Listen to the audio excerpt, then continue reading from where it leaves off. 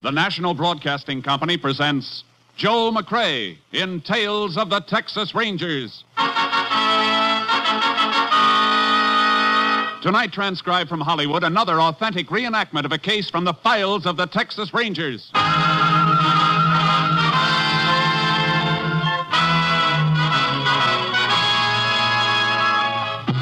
Tales of the Texas Rangers, starring Joel McCrea as Ranger Jace Pearson.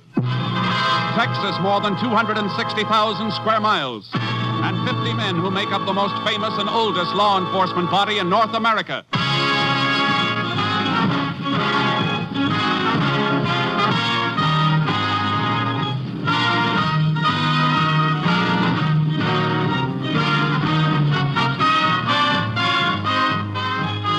Now, from the files of the Texas Rangers come these stories based on fact. Only names, dates, and places are fictitious for obvious reasons.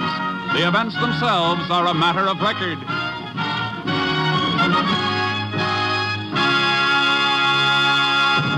Case for tonight Deadhead Freight.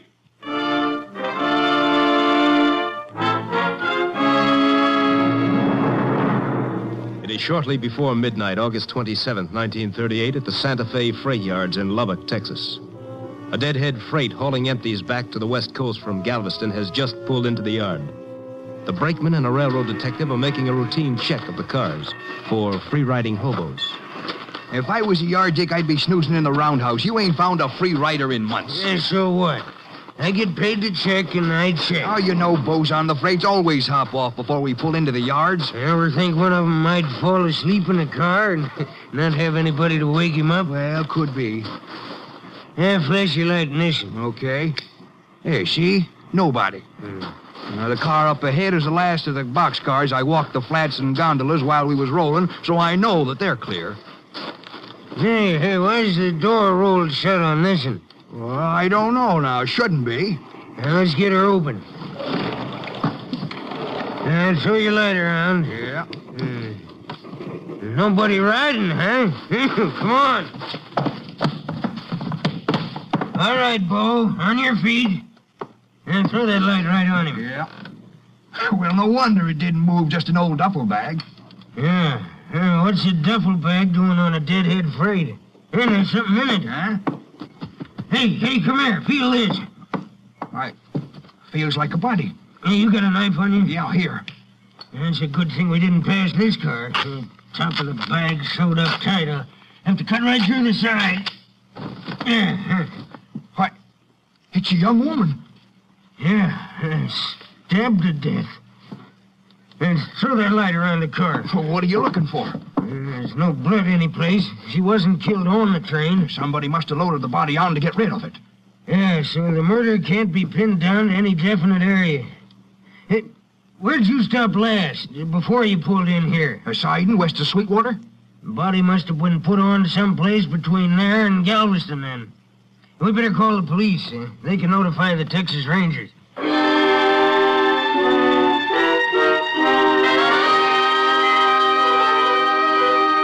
After a brief but penetrating study of the situation, Ranger Captain Stinson had the body removed to a Lubbock funeral parlor. He then requested Texas Ranger Jace Pearson to take over the case. Well, there it is, Jace. Pretty brutal job of stabbing. You figure it happened a good piece from here, huh? Couple of reasons for that. Here's a map. Shows the route the freight train took. Spot circled in red shows where it made stops. And at what time. I see. No stops after it left the siding outside Sweetwater, huh? Right. And most of the stops were made much further east. Hmm. Well, according to the time of these stops, body must have been loaded on the train between Presby here and Turner City here. Well, how do you arrive at that?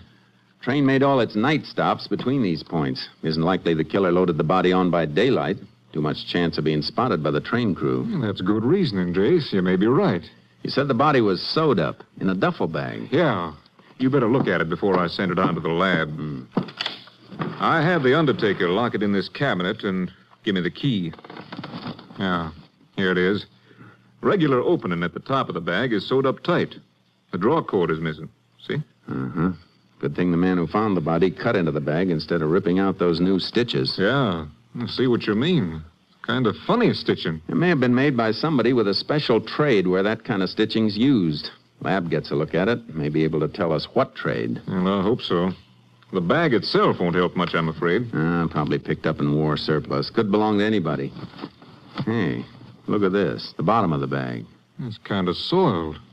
Whoever carted it around with a body in it must have set it on the ground to rest. He sure did. On reddish brown earth. Blood seepage made some of it stick. Let's have a look at that train map again.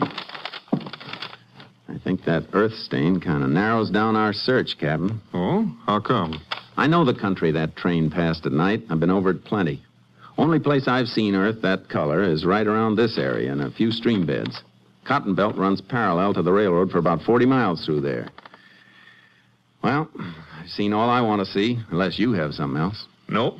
Let's go. I'll get this bag off to Austin. Body going to be held here for identification? Yeah. If she isn't identified, we'll see if we can run down something by her clothes. Any laundry marks or anything on him? Afraid not, Jace. Homemade and home laundered. No dental work to help us either. And her fingerprints aren't on the file.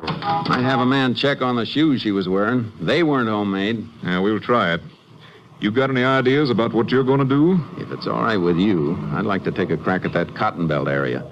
Tow charcoal down in the horse trailer and then ride parallel to the railroad tracks and see what I can find. Well, that's a lot of territory. How about Steve Clark riding with you? Good deal. We get anything from the lab, I'll let you know. I'll radio Clark and assign him. Then you can pick him up on the way. Good luck, Jace. Thanks, Captain. You'll hear from me.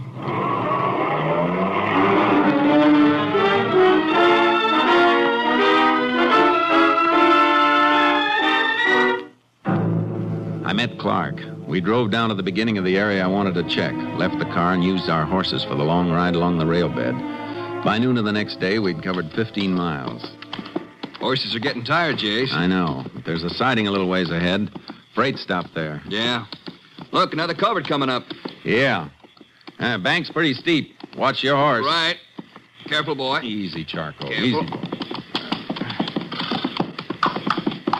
Steep climb out of here, Jace. Maybe if we ride. Hey, what are you looking at?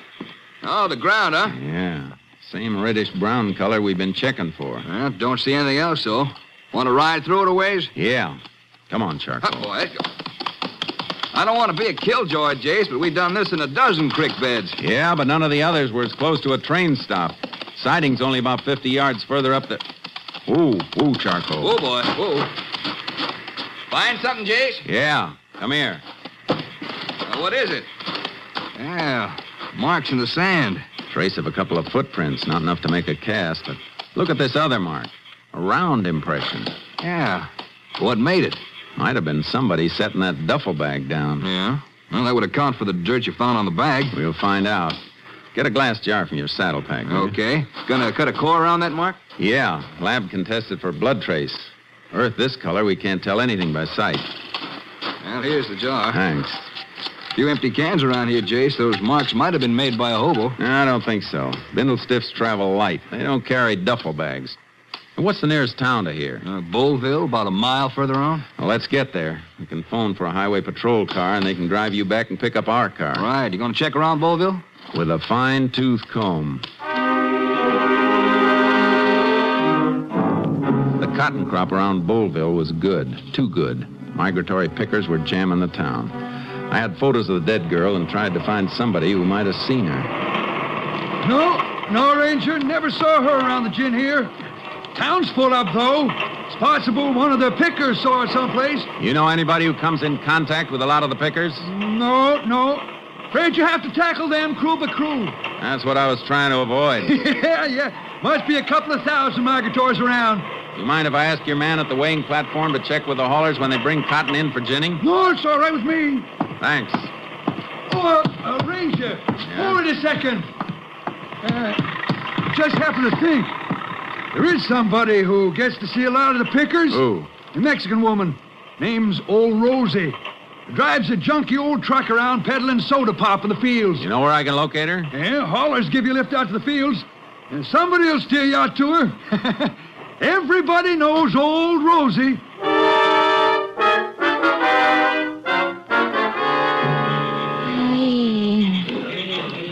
Somebody killed that poor girl, huh? That's right, Rosie. You ever see her? You find who killed her, you're going to put him in a jail? That's my job. How about it? You ever seen her around here? See, one time Where? at the bus station in the town, she was with a man. You know who the man was? No, senor. And why'd you hesitate? Is that the truth? Why should I tell a lie, senor? I don't know who the man was,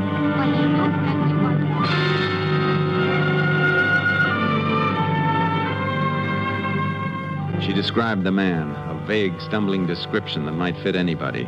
And while she described him, I had a feeling she was lying.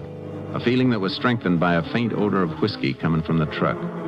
Whatever business Rosie was in, it wasn't limited to the sale of soft drinks. I pretended to swallow her story, then I got a lift back to town where Steve Clark was waiting with our car.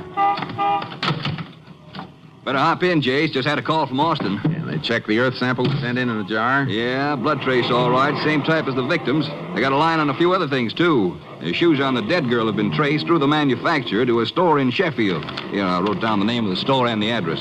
We better get over there and see if we can establish identity. Yeah, shoes will be waiting at the Sheffield airport. Isn't likely that a shoe clerk is going to remember who he sold them to, though. I saw the shoes. They've been repaired recently. Whoever fixed them might remember. Well, that's a chance. Any information on that duffel bag? Uh, yeah, lab ties it in with a seaman. How? Well, stitches used to sew up the bag are the kind seamen used to mend a torn sail. Hmm. Jace, you look like that throws you. It does, a little. I was beginning to have a sneaking suspicion about an old Mexican woman. But she's no seaman. what made you suspect her? She said she saw the dead girl with a man. She gave me kind of a phony description. Not only that, but she's supposed to be selling soft drinks to the field hands from an old truck. It reeked of liquor. Oh, bootlegging, huh? Hey, that could mean something. What? Well, a report from Austin mentioned liquor stains on that duffel bag. Naturally, they just figured that a bottle had been broken in the bag at one time or another, but... Yeah, but it could be something else, too. Yeah?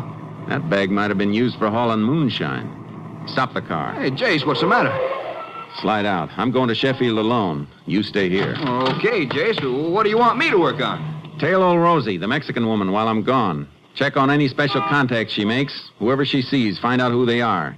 See if you can run down any who've worked as seamen.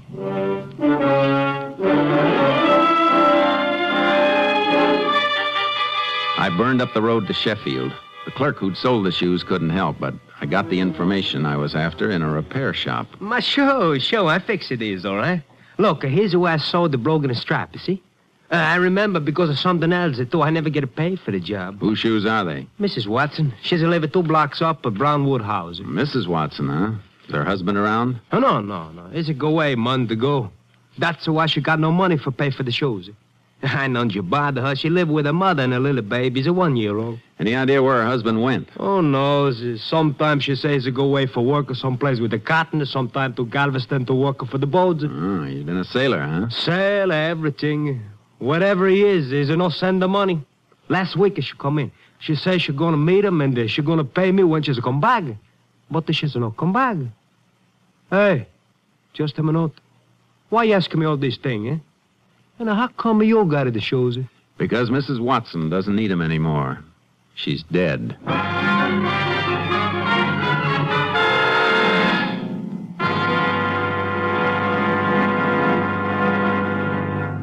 You are listening to Tales of the Texas Rangers, starring Joel McCrea as Ranger Jace Pearson. We continue now with tonight's case, Deadhead Freight, an authentic story from the files of the Texas Rangers.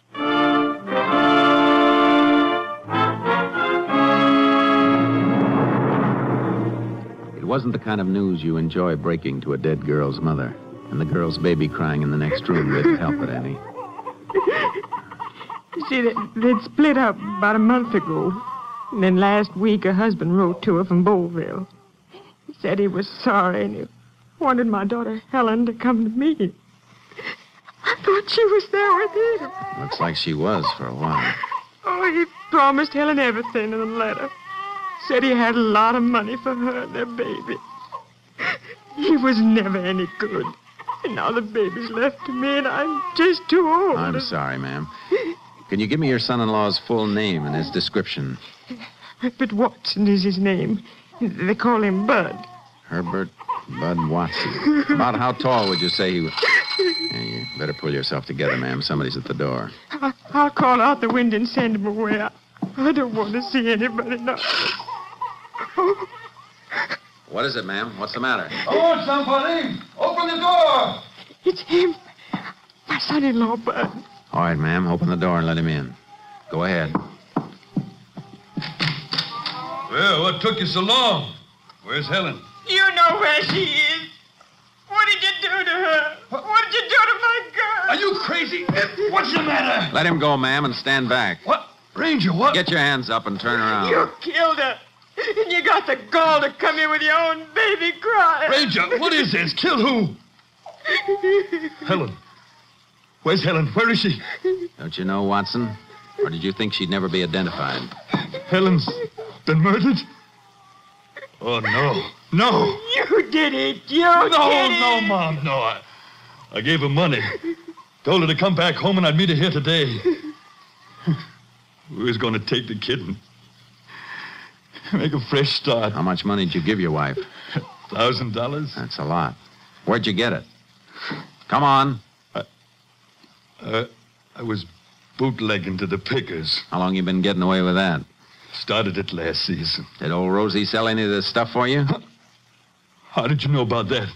I didn't for sure until now. Come on. We're going back to your place of business in Boleville.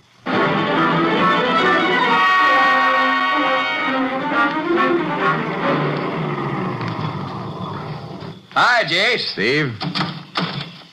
Yeah, I got your message to meet you here. Rosie's over there. Want to get her off the truck? Yeah, she can talk from there. Come on. You too, Watson. Okay. Bud Watson, murdered girl's husband. Been bootlegging here. Rosie's been moving some of the stuff for him. Oh? Why you keep me from my work, senor? Your work isn't as legal as it could be, Rosie, so sit tight. Uh, Yeah, you ever seen this man before? You know she's seen me before. They didn't ask you. How about it, Rosie? see. All right, Rosie. Now, is he the same man you saw at the bus depot with the girl whose picture I showed you? See. He's the man. At the bus depot. But that ain't so. I was never with Helen at the bus depot. You didn't meet her when she came down here? No, I tell you. I didn't know what bus she was coming in on. Or even if she would come after she got my letter. First I saw her, she turned up here at the shack. Well, how about when she left to go home? Ah, she only stayed two, three hours all told. Let her go back to the bus depot alone because, well, it was getting dark. Near time for the pickers to be coming there to buy drinks. You hear that, Rosie? That means one of you is lying. Rosie, tell the truth, senor. Uh, you don't always tell the truth, Rosie. The first time I asked you about the man you saw, you said he was a stranger, a man you'd never seen before. I forget, senor. I, I see a lot of people every day in the fields. I, Yeah, I, you trying to kid me? You've been selling liquor for this man. You couldn't mistake him for a stranger. But I do, senor. I make mistake. You wanted help, I give you help. Rosie tell you all she knows, that's all.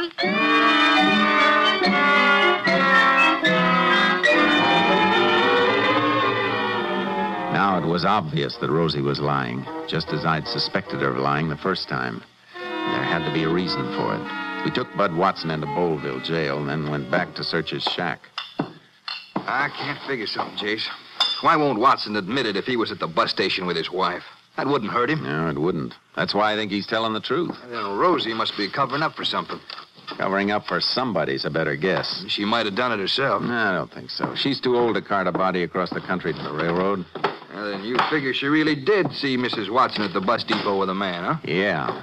The man who killed her to get the thousand dollars Bud Watson had given her. Well, then what's Rosie's angle in lying to us? Oh, that's an easy one, Steve. Shakedown. Hey, Jace, you're right. Couldn't be anything else. Why, it'd be worth the cut for her to forget seeing the man and say it was Watson instead. Only one thing wrong with it. What? Well, I watched her while you were gone. She didn't make any suspicious contacts, nothing that could have been a payoff. She might have gotten her payoff right after I showed her the Watson girl's picture and told her she'd been murdered. That was before you started to tailor. Yeah, I didn't think of that. She had time. Well, we combed this shack, Jace. Nothing here. What do we do now? Go back to Taylor and Rosie again. If she squeezed hush money out of the man once, she's liable to try it again. They all do. We'll start by watching her house when she comes in from the fields tonight.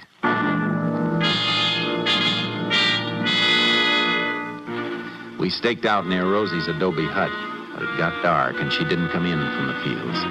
I left Steve on watch and went out to look for her, keeping an eye out for her old truck. I found it about five miles out, surrounded by a group of men carrying torches. Hey, what's going on here? Oh, Ranger! Uh, oh, Rosie! You better come. Yeah, what happened? Uh, we was walking into town. We saw the truck here by the side of the road, thought maybe it broke down, so we started to call for old Rosie. Then one of the boys spotted the blood on the ground. What blood? I'll show you over here. Must be old Rosie's, I reckon, because we found her over here in the cotton row. She's dead, Ranger. Somebody cut her throat from ear to ear.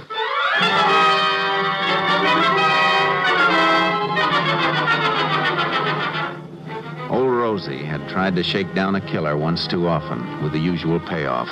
I sent a rush call to Steve Clark to tow his horse out and join me. We followed a trail which led to a deserted picker shack way off in a field that looked like it hadn't been cultivated for years. The shack had been occupied, though, recently occupied. But whoever had been there was gone. There's a lamp there, Steve. Light it. Yeah. It's clean as a whistle, Jay. Yeah, it's too clean. That floor's been scrubbed mighty hard for a shack like this. It sure has. Especially for a place nobody's living in. Must have been cleaning up blood. Yeah. And there are two other things. What's that? Whoever was hiding here was mighty handy with a knife. Look at the inside of the door, circle drawn on the wood. Wood chipped where somebody practiced throwing a knife at it. Yeah, good aim. All the marks are right smack inside the circle. Now, what else? Take a look at the lamp you just lit. The cord it's hanging by. Uh, it's just an ordinary hunk of rope. Except for the knot holding the lamp, a running bowline. So the light could be raised or lowered toward the table. A running bowline is a seaman's knot. Yeah, and that cord is just about big enough to be the draw cord from a duffel bag. Our seaman was here, all right. Well, it couldn't have been Watson, Jace. He was safe in jail when Rosie was killed. Yeah. Whoever Rosie saw with Mrs. Watson at the bus depot must have met the girl after she left Watson, after she had the money. Yeah? Married woman on her way home to her baby isn't liable to leave a bus depot with a stranger, is she? Chances are it was somebody she knew. Well, Watson's been a sailor. Think it might have been an old shipmate of his? Let's go see if he remembers one who was handy with a knife.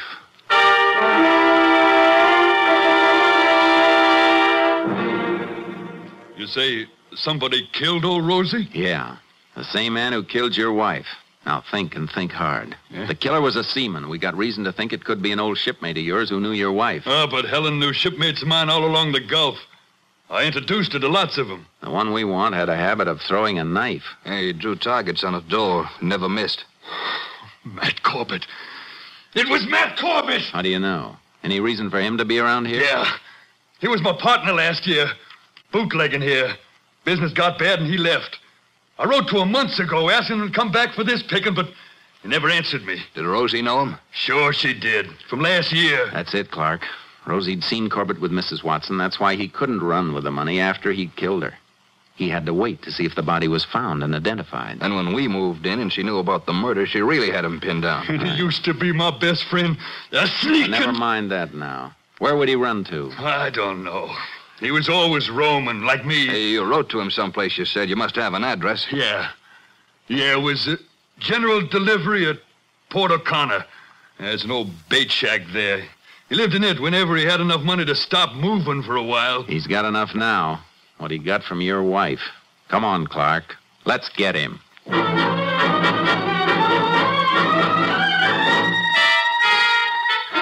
headed for Port O'Connor, made it by morning, and found the abandoned bait shack. Nobody inside, Jace, can see through the window. He isn't here. Yeah, he's probably traveling by freight to avoid being spotted. He couldn't have beaten us here. We rolled too fast. Gonna stake it out and wait? Yeah, our car's out of sight where we left it. He won't spot it coming along the wharf. Come on, let's go inside.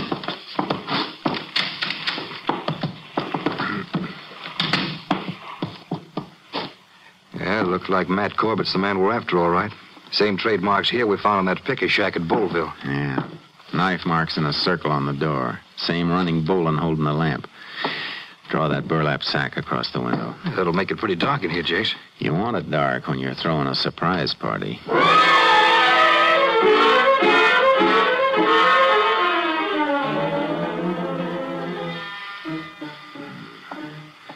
Steve, Steve, wake up. What? Shh. Somebody coming along the wharf. It's dark. What time is it? A little after midnight. Steps are coming closer. Yeah, it must be Corbett. Nothing to bring anybody else this way at this time of night. He's heading for here, all right. Yeah. Let him get all the way inside. And remember, he's got that knife, and he's handy with it. I know. All right, Corbett. Never mind that lamp. What's the knife, Dave? Yeah, stand clear of the light, Steve. Can you handle him? All right, stop your struggling, Corbett. You stinking... My arm! Ah. You broke my arm! All right, just wrench your shoulder, Corbett. Uh.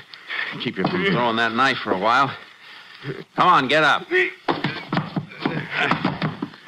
Better light the lamp now, Steve. It's a good thing you jumped him, Jace. I felt that knife passing my ear. Look, buried in that wall a good inch. Hey, Rangers. I thought you were a couple of crooks. Uh, what you doing here? Just dropped in to arrest you for the murder of Helen Watson and old Rosie up at Bullville. It'd be nice if you could prove it. I haven't been near Bullville. I think we can prove you were. By marks you left on the door and a few other things. How'd you come back? Freight?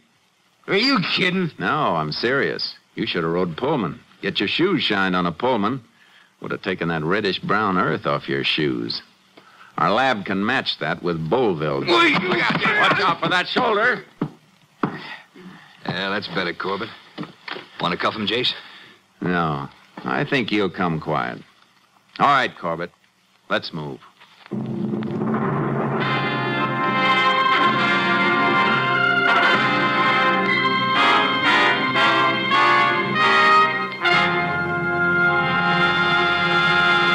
Herbert Bud Watson served the required term for his bootlegging activities, and Matt Corbett was tried and convicted of murder. The sentence of the court was carried out on February 20th, 1939, when at Huntsville Penitentiary, Matt Corbett died in the electric chair.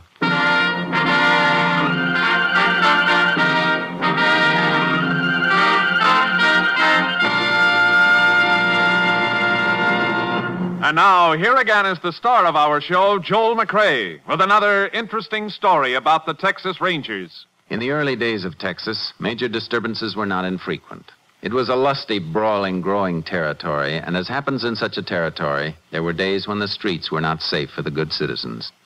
An Easterner happening into a Texas town at such a time found shelter in the house of a minister.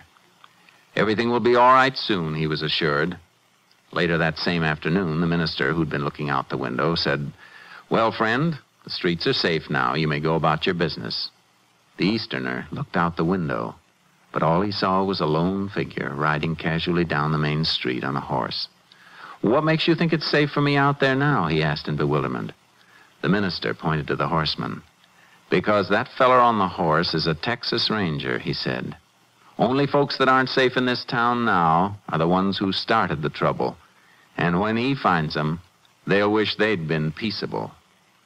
Good night, folks. See you next week. Next week, Joel McCrea in another authentic reenactment of a case from the files of the Texas Rangers.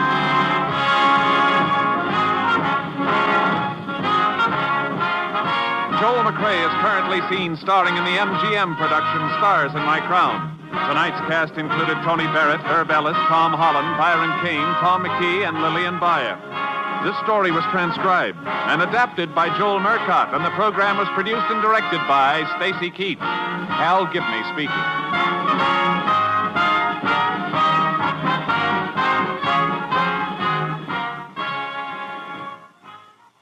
Three chimes mean good times on NBC.